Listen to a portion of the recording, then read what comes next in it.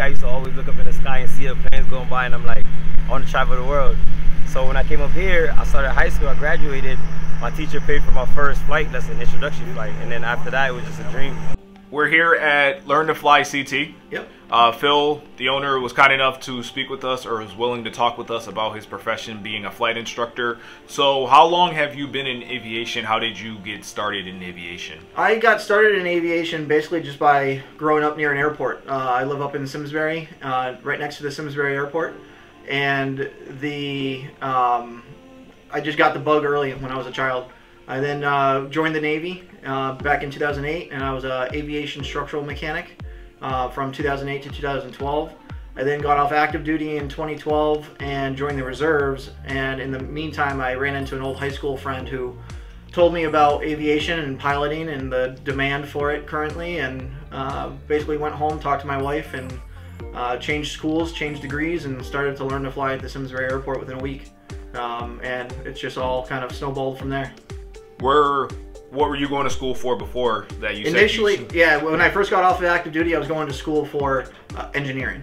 okay. And then I changed everything. I, uh, I initially I went to um, Community College, got my uh, general general degree or associate's degree, and then transferred to Embry Riddle and got an aeronautics degree uh, for a bachelor's degree. And then uh, since then, I've become a flight instructor, multi-engine instructor, uh, flight instructor instrument or CFII, and then just recently I became a A&P mechanic as well, so airframe and power plant mechanic.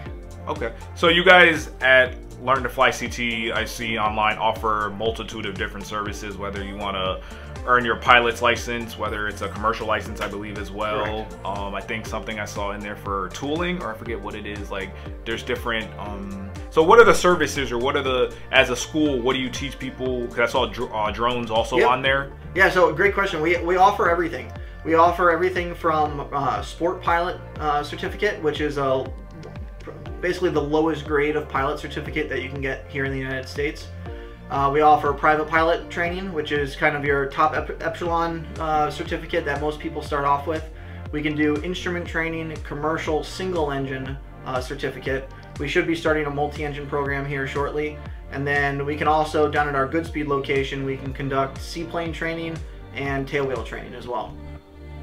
do do you find that most people get into aviation whether obviously they need to earn their pilot's license if they want to get a job as a commercial um, pilot or just because someone said what's the difference between i guess a commercial pilot and airline pilot because they're not the same thing necessarily i obviously airline pilot you work for an airline but Right. commercial pilot is different it's, Right, it's a- about the same thing That's a great question. So, for your private pilot certificate, uh, when you first get your private pilot certificate, you can fly yourself, you can fly your friends, you can go anywhere in the continental United States, and you can also go international if you wanted to go to Canada or to Mexico or to the Caribbean. Uh, you can do that. It's just extra paperwork that you have to file with the government and everything. Um, but the number one thing you cannot do as a private pilot is you cannot make money with your piloting services. So you can't take your i always bring up an example of uh, taking your aunt or your uncle's package to your grandmother's house uh, and your aunt and uncle are going to reimburse you for the for the fuel or for the for your services flying the plane there. Um, that you cannot do. Um, once you earn your commercial pilot certificate there are some things that you can do to actually get compensated for your time. Um, they're very limited in scope but um, it's better than nothing uh, basically because from your private pilot instrument training commercial training all th- all that training period you're basically paying out uh, to get all the training get all the flight time. Once you get your commercial certificate now there's a couple items that you can do where you can actually start earning some money. Um, the big thing a lot of people do is once they get the commercial pilot certificate they then become their uh, they be- then become a flight instructor or a cfi a certificated flight instructor. Um, at that point now instead of paying to go flying you're actually getting paid to go fly because you can work at a flight school or you can do your own thing individually um, and continue uh, building up your flight hours while you're actually getting compensated for your time. How long does I'm assuming it's different depending on what license you're getting or what you're working towards. How long does it typically take someone to get uh, the most basic of a um I guess a pilot. Yeah, like if you want to just fly recreationally or you just want to learn to fly for leisure or just for fun, not necessarily needing to want to get, get a specific job. Like just starting out for someone, how long does it normally take? Like I know you mentioned there's hours and the costs. Yep. Yeah. So great question again. Uh, when it comes to the time commitment and the cost and everything, it really boils down to two different types of, I guess you could say, student pilots. You have your recreational pilot, uh, which is just looking to get your private pilot. They're looking to get their private pilot certificate so that they can go fly to Martha's Vineyard or fly up to Buffalo, New York, or somewhere to see family or friends and just experience that freedom of aviation, of, of general aviation. Or what are people's opportunities with just a license of some sort, not necessarily having to be commercial?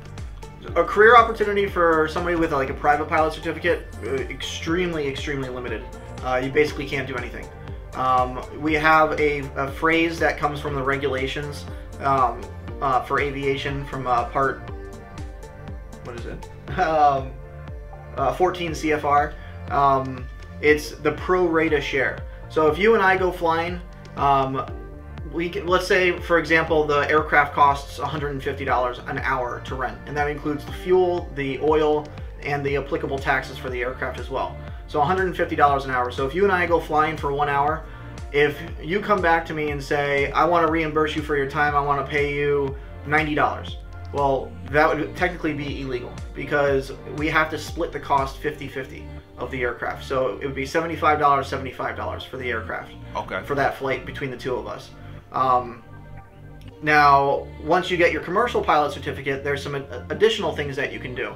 You can do some banner tows. So if you've ever seen an aircraft towing a banner behind it, Okay, um, so like for marketing, correct, like marketing, yep, marketing like Geico or like over like sporting events and stuff exactly, like that. Yep. Okay, yes. Uh, they do it. They have a tendency to do it down along the, the coastal line as well, with all, everybody out on the beach and everything. People um, will do marriage proposals. Marriage. One of the things that you can do as a commercial pilot is you can fly banner tows around all day long.